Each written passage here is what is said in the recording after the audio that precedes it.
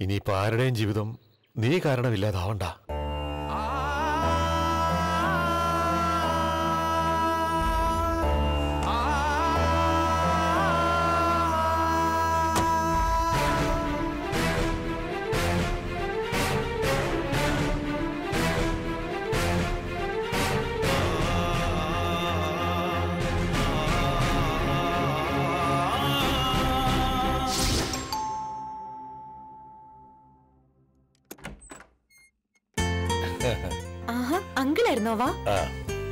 Cardiology consultant ആയിട്ട് ഞാൻ ഇവിടെ അടുത്തൊരു ഹോസ്പിറ്റലിൽ ഇടയ്ക്കിടയ്ക്ക് വരാറുണ്ട്. അങ്കിൾ ഇരിക്കും.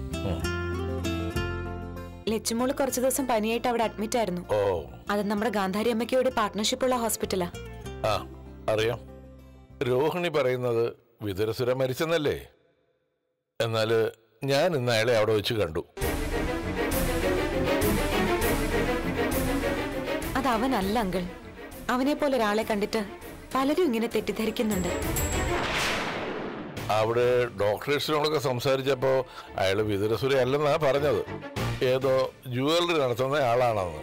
സ്വർണവുമായി കാറിൽ വരുമ്പോ ആരോ അയാളെ ആക്രമിച്ചു. കാലിൽ വെടിയേറ്റു. ഇരിക്കൂ സർ. സ്റ്റിച്ച് അഴിക്കാനോ മറ്റോ ആ വന്നത്. പക്ഷേ എനിക്ക് അവനെ വിദുരസുരയായിട്ടാ തോന്നുന്നത്. ആയിരിക്കും ഡോക്ടർ. അവൻ പല പല പേരുകളിൽ വരും. ഒരുപാട് ബിസിനസ്സും ഉണ്ട്. ഇപ്പൊ സ്വർണക്കടക്കാരനായിരിക്കും. ആരെന്ത് പറഞ്ഞാലും ശരി. വിതുരസുര ഇനി ജീവനോടെ വരില്ല. ഇതൊക്കെ പലതവണ പറഞ്ഞിട്ടുള്ളതല്ലേ മോളെ. എന്നിട്ട് എന്തായി അവൻ വന്നില്ലേ? അല്ല ആ ഹോസ്പിറ്റലിൽ അങ്ങനെ ഒരാളെ ട്രീറ്റ്മെന്റിന് വന്നിട്ടുണ്ടെങ്കിൽ എനിക്ക് അയാളെ ഒന്ന് കാണാൻ പറ്റും? അല്ല അങ്ങനെ വരുമ്പോ കാര്യങ്ങൾക്കൊരു വ്യക്തത ഉണ്ടാവുമല്ലോ അവൻ ഇണങ്ങി മുന്നിൽ പോയി നിൽക്കണോ? അയ്യോ സാറേ ഈ കേൾക്കുന്ന ഒന്നും സത്യമല്ല. അതെപ്പോഴും പറയാൻ ഇനി എനിക്ക് വയ്യ. കഴിഞ്ഞ കുറെ ദിവസങ്ങളായിട്ട് അയാൾ അവിടെ ഹോസ്പിറ്റലിൽ അഡ്മിറ്റ് ആയിരുന്നു അപ്പോ ലച്ചുമോൾ കിടന്ന സമയത്തും അയാൾ അവിടെ കാണണമല്ലോ.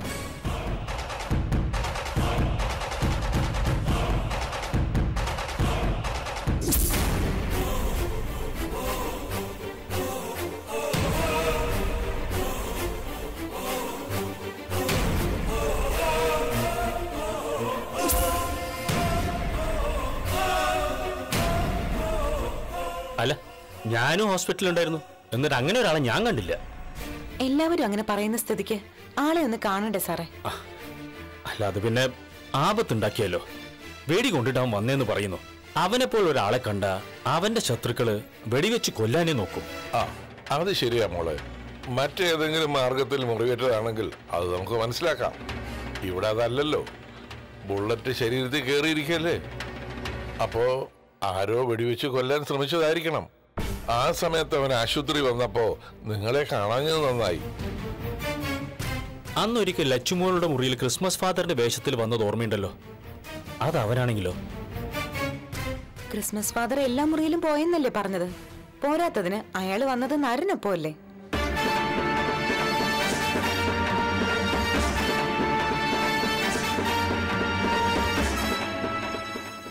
ഇതിന്റെ പേര് പരസ്പരം തർക്കിക്കുകയല്ല വേണ്ടത്. സത്യം എന്താണെന്ന് കണ്ടെത്തണം. ഞാൻ മാത്രമല്ല പലരും കണ്ടു കഴിഞ്ഞു. രോഹിണി മോൾ മരിച്ചെന്ന് പറയുന്ന ആളിനെ. അതുകൊണ്ട് ഈ പറയുന്ന ആളിനെ കുറിച്ച് കൂടുതൽ അറിയാൻ ശ്രമിക്കണം. ആ ഹോസ്പിറ്റലിൽ നിന്ന് തന്നെ. കഴിയുമെങ്കിൽ ഈ വിവരം പോലീസിലും അറിയിക്കണം. എന്നാൽ ഞാൻ അറിയിക്കട്ടെ. ഉം?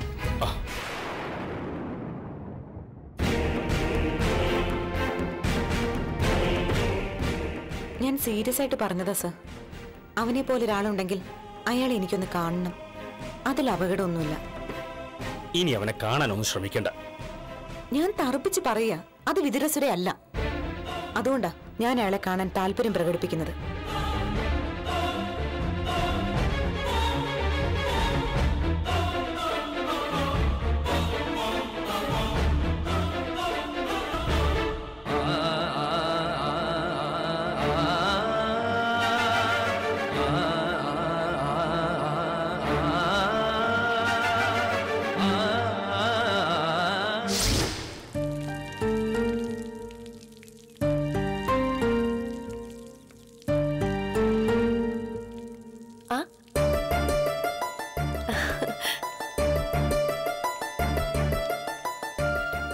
രോഹിണി ടീച്ചറിന്റെ കുടുംബ ഡോക്ടർ ഉണ്ടല്ലോ.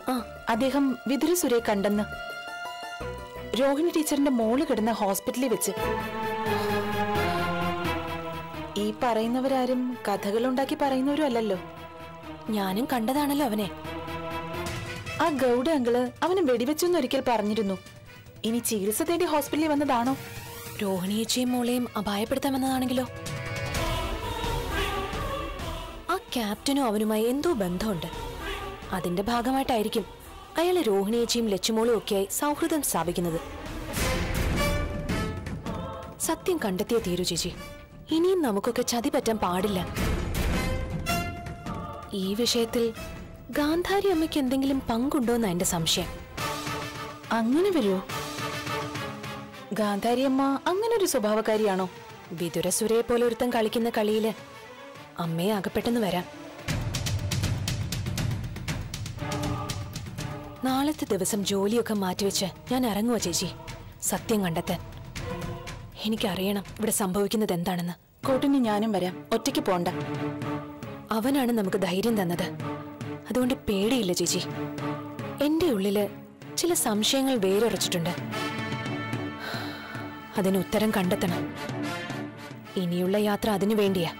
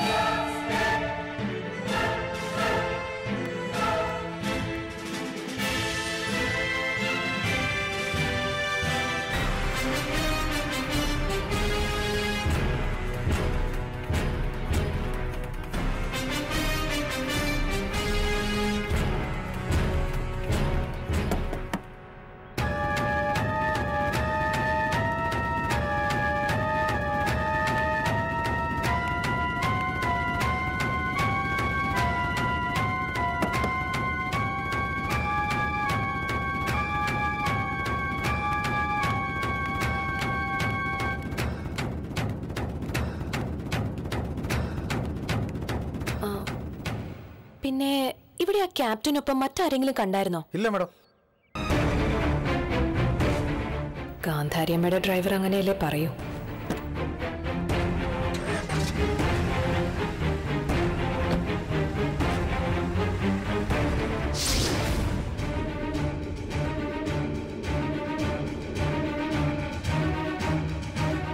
അമ്മയെ കൂട്ടിക്കൊണ്ട് വരണം. എനിക്കൊപ്പം താമസിക്കാൻ അമ്മ ആഗ്രഹിക്കുന്നു. നീ അങ്ങോട്ട് പോയി താമസിക്കുന്നതായിരിക്കും കുറച്ചുകൂടി നല്ലത്. അവിടെ ഇപ്പോഴും പരിസരവാസികളൊക്കെ എന്നെ തല്ലിക്കൊള്ളെന്ന് പറഞ്ഞ് നടക്കുന്നവരാ. നിമിഷനേരം മതി അതിന് മാറ്റം വരാൻ ശത്രുക്കളൊക്കെ എന്നെ സ്നേഹിച്ചു തുടങ്ങും. പത്രത്തിലൂടെയും ടി വിയിലൂടെ ഒക്കെ യഥാർത്ഥ സംഭവങ്ങൾ പുറത്തു വന്നാൽ എന്നാൽ അതിന് കഴിയാത്ത അവസ്ഥയായി. എന്നെക്കുറിച്ച് എനിക്ക് സമൂഹത്തോടും മാധ്യമത്തോടും പറയാൻ പറ്റാത്ത അവസ്ഥയായി ഈ നാടൻകളി കാരണം. അതുകൊണ്ട് ഈ നാടകം അവസാനിപ്പിക്കാനുള്ള ശ്രമത്തിലായിരിക്കും നീ അല്ലേ? അതുകൊണ്ടായിരിക്കും നീ എല്ലാവർക്കും മുഖം കൊടുക്കുന്നത്. ഒരുപാട് ആഗ്രഹങ്ങളുള്ള മനുഷ്യനാണ് ഞാൻ. അത് നിങ്ങൾ മനസ്സിലാക്കണം ക്യാപ്റ്റൻ. ശരിക്കും ശ്വാസം മുട്ടില്ല ഇത്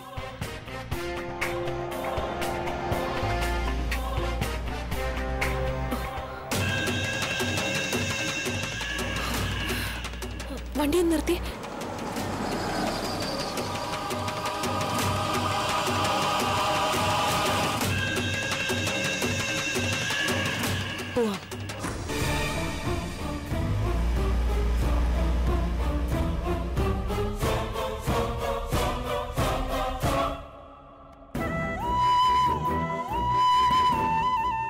സഹയിട്ടിരിക്കുക ചിലപ്പോൾ ജോസിന്റെ വീട്ടിലോട്ട് ഇറച്ചി കയറി അങ്ങ് ചെല്ലും.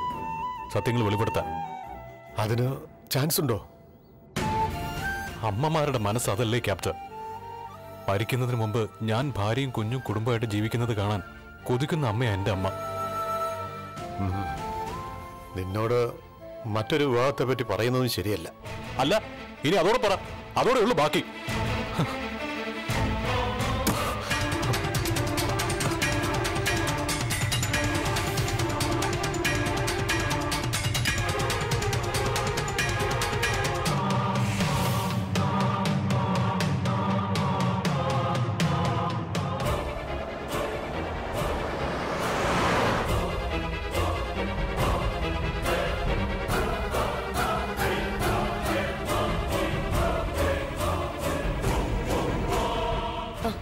ഹലോ ചേച്ചി. എനിക്ക് അത്യാവശ്യമായിട്ടൊന്ന് കാണണം. ആ അവിടെ നിന്നാ മതി. ഞാൻ അങ്ങോട്ട് വരാം. ഓക്കെ ശരി.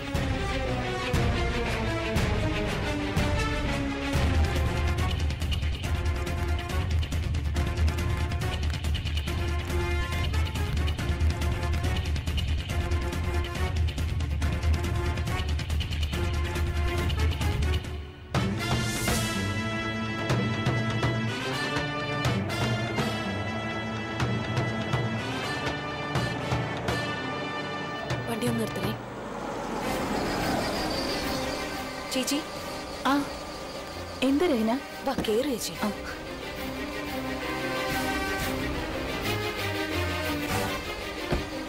എന്തു പറ്റി? പറയാം. എന്താ നീ അത്യാവശ്യമായിട്ട് കാണണമെന്ന് പറഞ്ഞ്? ഇനി ആരോടൊന്നും ചോദിക്കാനും പറയാനുമില്ല. ഞാൻ വീണ്ടും കണ്ടു കഴിഞ്ഞു വിതുരസുരയെ. ആ ക്യാപ്റ്റനുമായിട്ട് സംസാരിച്ചു നിൽക്കുമായിരുന്നു വിതുരസുര.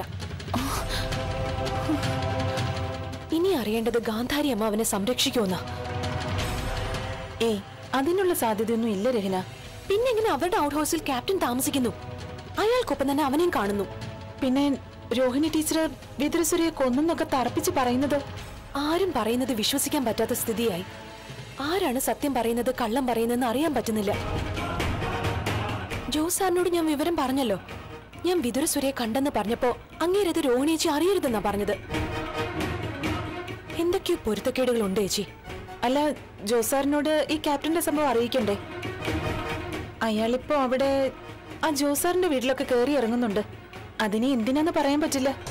എന്നാലും പോലീസിന് പിടികിട്ടാ പുള്ളിയായ ഒരുത്തൻ എങ്ങനാ ഈ രീതിയിലൊക്കെ പുറത്തിറങ്ങി നടക്കുന്നത്? നമുക്കറിയാൻ കഴിയാത്ത എന്തോ ഒന്ന് ഇടയ്ക്ക് സംഭവിച്ചിട്ടുണ്ട്. നിനക്ക് ഓർമ്മയുണ്ടോ? രോഹിണി ടീച്ചർ മോളെയും കൂട്ടി അവന് ബലിയിടാൻ പോയത്?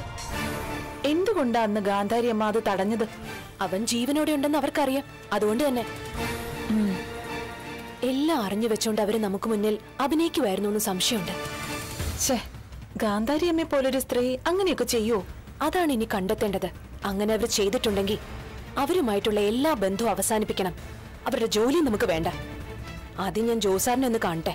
അല്ല നമുക്ക് രോഹിണി ടീച്ചറിനോട് ഈ വിവരം പറയണ്ടേ? അത് ജോസാറിനെ കണ്ടിട്ട് മതി.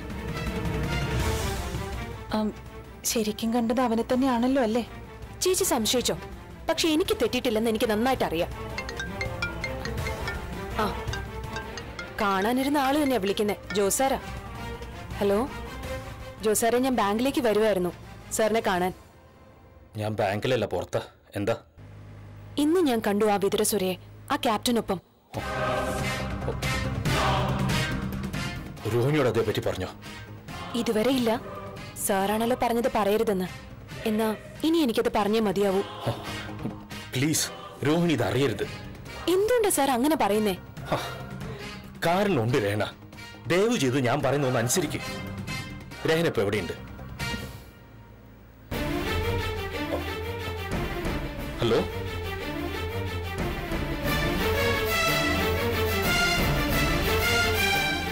എന്താ? സാർ ഇപ്പോഴും അതേ പല്ലവി തന്നെ ആവർത്തിച്ചുകൊണ്ടിരിക്കുക രോഹിണി ചേച്ചി ഒന്നും അറിയരുതെന്ന്. ഇതങ്ങനെ വെറുതെ വിട്ടാ പറ്റില്ല? സത്യം എന്താണെന്ന് നമുക്കറിയണം. വിതുരസുര ജീവനോടെ ഉണ്ടെങ്കിൽ പിന്തുടർന്ന് കൊല്ലേണ്ട ആളാ ഇങ്ങനെയൊക്കെ പറയുന്നത്. അതാ എനിക്ക് മനസ്സിലാവാത്തെ. നമ്മൾ ഇതൊരു ഭാരമായി കൊണ്ടു നടക്കാൻ പാടില്ല. ചുരുൾ അഴിയണം. കഴിയുമെങ്കിൽ ഇന്ന് തന്നെ. ഉണ്ണി വണ്ടി നേരെ ഗാന്ധാരിയമ്മയുടെ ഔട്ട് ഹൗസിലേക്ക് വിടാം. ആ ശരി.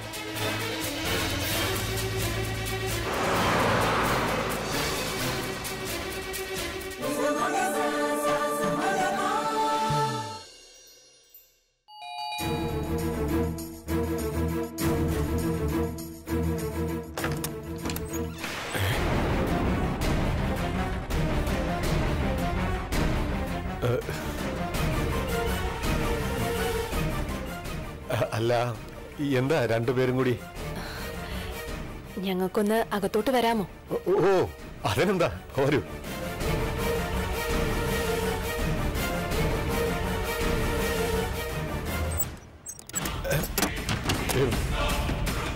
ക്യാപ്റ്റൻ എന്താ ഒരു പതർച്ച പോലെ? എന്ത് പതർച്ച?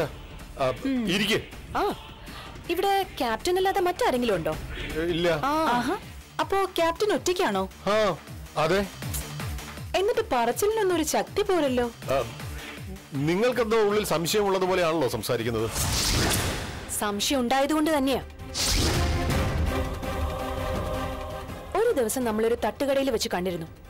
അന്നാ പരിസരത്ത് ഒരാൾ കൂടി ഉണ്ടായിരുന്നു. അവനും നിങ്ങളും ഒന്നിച്ചാണോ വന്നതെന്ന് അന്നേ എനിക്ക് സംശയം ഉണ്ടായിരുന്നു. അതുപോലൊരു വാഹനത്തിലാ നിങ്ങൾ സഞ്ചരിക്കുന്നേ. ഞാനൊന്നും ഓർക്കുന്നില്ല. നമ്മൾ ഒന്നിച്ചൊരു തട്ടുകടയിൽ വെച്ച് ചായ കുടിച്ചത് ഓർക്കുന്നില്ല? ആ, അത് ഓർമ്മയുണ്ട്. പെട്ടെന്നൊരു സുപ്രഭാതത്തിൽ പൊട്ടിമിളച്ച ആളാ നിങ്ങൾ. അതിനു മുമ്പ് നിങ്ങളെ കുറിച്ച് ഒരു പരാമർശവും ഗാന്ധാരി അമ്മയുടെ നാവിൽ നിന്നും ഉണ്ടായിട്ടില്ല. അങ്ങനെ പറയേണ്ട കാര്യങ്ങളൊന്നും ഉണ്ടായി കാണില്ല. എന്നാ ഇന്ന് പറയണം നിങ്ങളെല്ലാം. എന്തു പറയാൻ? വിതുരസുരയും നിങ്ങളും തമ്മിൽ എന്താണ് ബന്ധം? വിദുരസുരയോ അതാരാ? അവനെ അറിയില്ല. എന്നാലേ ഞങ്ങൾക്ക് നന്നായിട്ട് അറിയാം. പറ അവനോട് ഇറങ്ങി വരാൻ. എന്താണോ പറയാത്തത്? അങ്ങനെ ഒരാൾ ഇവിടെ ഇല്ല. ഇന്ന് താൻ പറഞ്ഞാ മതിയോ? ഞങ്ങളെന്ന് കയറി നോക്കട്ടെ. വേണ്ട നിൽക്ക്. മാറടോ. മാറാനാ പറഞ്ഞത്. ഇവിടെ ആരും ഇല്ല എങ്കിൽ പിന്നെ നിങ്ങൾ ഇപ്പൊ തടയേണ്ട കാര്യം എന്താ? ആ,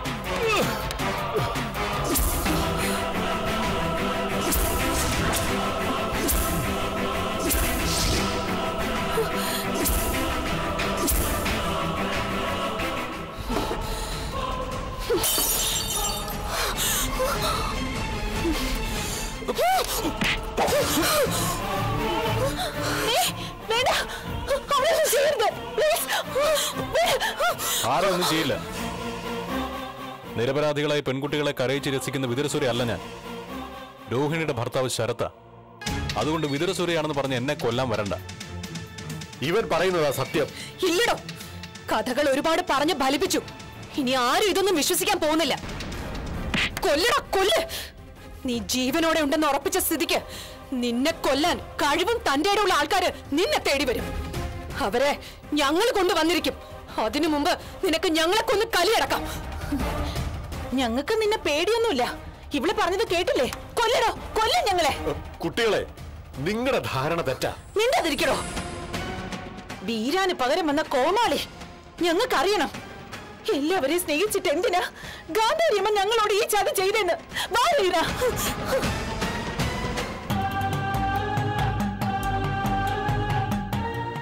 അറിയേണ്ട രണ്ടാൾ കൂടി സത്യം അറിയാൻ പോകുന്നു. പോയ അതേ സ്പീഡിൽ തന്നെ അവർ തിരിച്ചു വരും ക്യാപ്റ്റ നോക്കിക്കോ.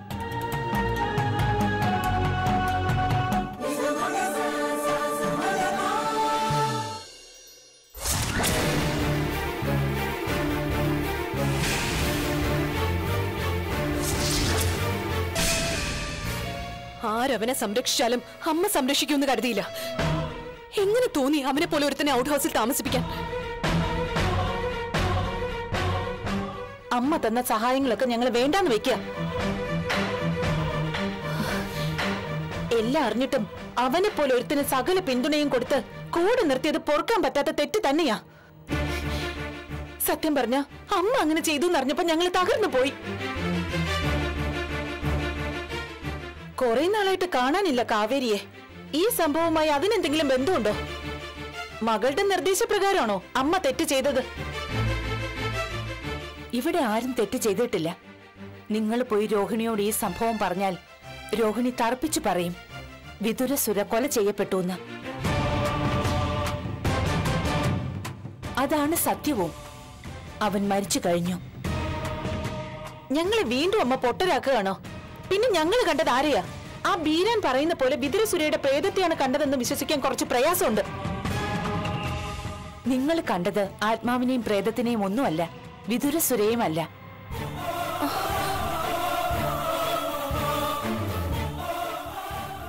നിങ്ങളുടെ മുന്നിൽ നിന്നത് രോഹിണിയുടെ ഭർത്താവ് ശരത്താണ്. മിലിറ്ററിക്കാരനായ ശരത്ത്. തെറ്റിദ്ധാരണയുടെ പുറത്ത് നാരായണേട്ടൻ കൊന്നേനെ ആ പാവത്തിനെ. മരണത്തിൽ നിന്നും തലനാരിഴയ്ക്കാണ് അന്ന് രക്ഷപ്പെട്ടത്. ഞങ്ങൾ ഇതൊക്കെ വിശ്വസിക്കണോ? ശരത്തിനെ ആദ്യം കാണുന്നത് നരനാണ്. അതുകൊണ്ടാ നരനും മോചിതയും രോഹിണിക്കൊപ്പം നിൽക്കുന്നത്. നിങ്ങളൊക്കെ ഓരോന്ന് പറഞ്ഞിട്ടും രോഹിണിയും ജോസും തമ്മിലുള്ള ബന്ധത്തെ ഞാൻ പ്രോത്സാഹിപ്പിക്കാത്തത് സത്യങ്ങൾ അറിയാവുന്നതുകൊണ്ടാ വിദുര സുരയുമായി സാമ്യമുണ്ടായിപ്പോയി ആ ഒരൊറ്റ കാരണം കൊണ്ട് ജീവിതമില്ലാതായ മനുഷ്യനാണ് ശരത്ത്. ഇതുപോലെ മാന്യനായ ഒരാളെ കണ്ടെത്താൻ പ്രയാസമാണ്. കൂടെ ഒരാളുണ്ടല്ലോ ഒരു ക്യാപ്റ്റൻ. അയാളുടെ മോളും മരിക്കാൻ കാരണം വിതുരസുരയ നിങ്ങളോട് കാട്ടിയ വഞ്ചന തന്നെ അവൻ ആ കുട്ടിയോടും കാണിച്ചു. ഞാൻ ഈ പറയുന്നതൊക്കെയാണ് യാഥാർത്ഥ്യം. അല്ലാതെ വിദുര സുരയെ പോലെ ഒരുത്തനെ ഞാൻ ചേർത്ത് നിർത്തുമെന്ന് നിങ്ങൾക്ക് തോന്നുന്നുണ്ടോ? ഭാര്യയും കുഞ്ഞിനെയും വേണമെന്ന് അമിതമായി ആഗ്രഹിക്കുന്ന ആളാണ് ശരത്ത്. അവിടെ എന്ത് ചെയ്യണമെന്ന് എനിക്ക് ഒരു നിശ്ചയവുമില്ല. കാരണം ജോസിനും വേണം രോഹിണിയെ. വിതുരസുര പുതിയ കഥയുണ്ടാക്കി വന്നതാണോ അമ്മേ? ഒരിക്കലും അല്ല. നിങ്ങൾ കണ്ടത് ലച്ചുമോളുടെ യഥാർത്ഥ അച്ഛനെ തന്നെയാ.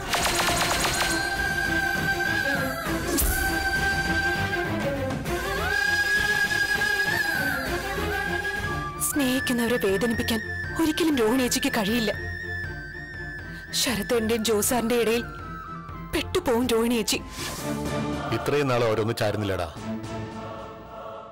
എങ്കിലും ഇപ്പോഴാണ് ജോസിൽ ചില സംശയങ്ങൾ ഉണ്ടായിരിക്കുന്നത്. അയാൾ മണ്ടനല്ല. ഇതിനോടകം ജോസ് എല്ലാം അറിഞ്ഞു കഴിഞ്ഞിട്ടുണ്ടാവും.